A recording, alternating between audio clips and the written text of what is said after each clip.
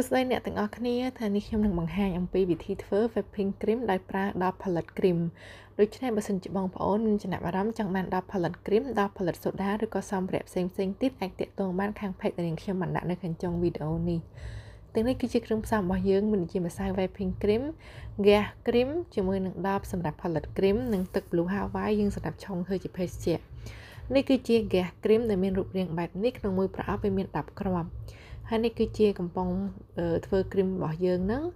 ដែលវាមានរូបរាងបែបនេះបងប្អូនហើយក្នុងនោះក៏វាមានកដាស់សម្រាប់ណែនាំអំពីរបៀបប្រើប្រាស់មួយ ជាមួយនឹងប្រអប់ទូចមួយ ដែលនៅខាងបាត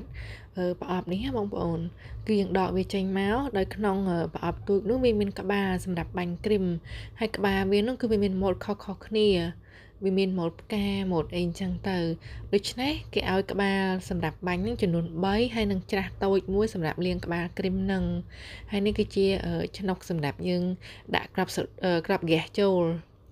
ហើយឥឡូវនេះយើងក៏មកបើកជាមួយនឹងដបធ្វើគ្រីមរបស់យើងទាំងអស់គ្នាមកតើវាមានរូបរាងដូចម្ដេចយើងក៏មូលក្បាលរបស់វាចេញមកបងប្អូនដើម្បីមើលទាំងអស់គ្នា គឺថាពីខាងក្នុងហ្នឹងគឺអត់មានអីទេគឺធម្មតាត្រីឡតអញ្ចឹងហើយនេះគឺជាក្បាលរបស់វាសម្រាប់ធ្វើ អូខេជាងមុនដំបូងគឺយើងត្រូវថ្លឹងជាមួយនឹងម្សៅ whipping cream ជាមុនសិនដែលយើងថ្លឹងម្សៅបាយ cream របស់យើងនឹងចំនួន150ក្រាមអញ្ចឹងយើងថ្លឹងវាឲ្យគ្រប់150ក្រាមអញ្ចឹងមកបងប្អូនបើសិនជាបងប្អូនអត់មានអញ្ចឹងថ្លឹងទេបងប្អូនអាចមើលក្នុងវីដេអូនឹងបាន150ក្រាមវាស្មើនឹង300 ml អញ្ចឹងបើសិនជាបងប្អូនអត់មានអញ្ចឹងទេបងប្អូនវាល់ម្សៅនឹងដល់ត្រឹមលេខ300 ml ដូចក្នុងវីដេអូនឹងមកក៏បានដែរបងប្អូន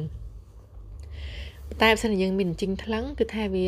ច្បាស់លាស់ជាងត្រឹមត្រូវជាងអញ្ចឹងណាតែបើយើងអត់មានទេបើត្រឹមលេខ300អញ្ចឹងមកវាខុសគ្នាតិចតួចទេឬហើយយើងប្រើទឹកត្រជាក់ classic តែត្រជាក់ខ្លាំងបំផុតចំនួន 300 ml ចាក់ចូលទៅក្នុងម្សៅវាយគ្រីមរបស់យើងនឹងមកឬហើយយើងក៏យកស្រាប់ព្រាឬក៏សម្រាប់វាយអឺអីមួយមកដើម្បីយើងនឹងកូរម្សៅជាមួយនឹងទឹកត្រជាក់ហ្នឹងឲ្យវារលាយល្អសិនមុនយើងចាក់ចូលកំប៉ុងគ្រីមណាបងប្អូន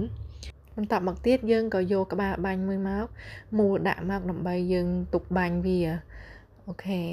រួចហើយយើងក៏យកកំប៉ុងបាញ់គ្រីមរបស់យើងមកដែលកំប៉ុងបាញ់គ្រីមរបស់យើងហ្នឹងគឺយើងត្រូវក្លាសេតិចសិនមុននឹងយើងចាក់ម្សៅគ្រីមចូលគឺក្លាសេដូចក្នុងវីដេអូអញ្ចឹងបងប្អូនក្លាសេកប់តកដបនៅវាតិចខ្លាំងសិនហើយយើងចាក់ម្សៅរបស់យើងហ្នឹងមួយទឹកតិចហ្នឹងចូលទៀតហើយម្សៅយើងហ្នឹងគឺតិចទៀតអញ្ចឹងទៅវាធ្វើទៅវា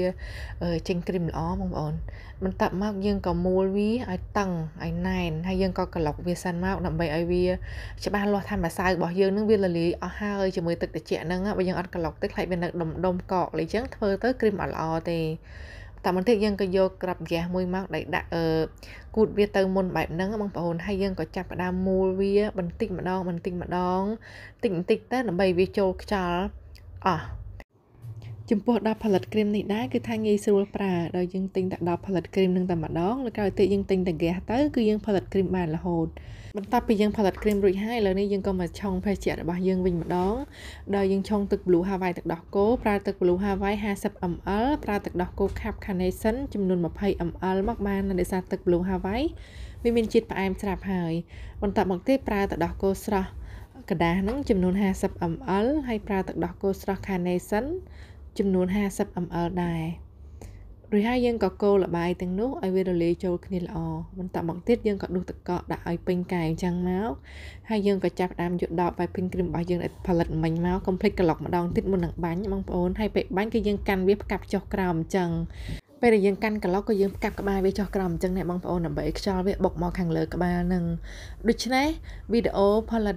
whipping cream របស់យើងក៏បានរួចរាល់ហើយបងប្អូនសូមបងប្អូនជួយចុច like page ឬក៏ជួយ subscribe channel YouTube ម្នាក់មួយផងដើម្បីទទួលបានវីដេអូថ្មីៗជាច្រើនទៀតអរគុណច្រើនអ្នកទាំងអស់គ្នា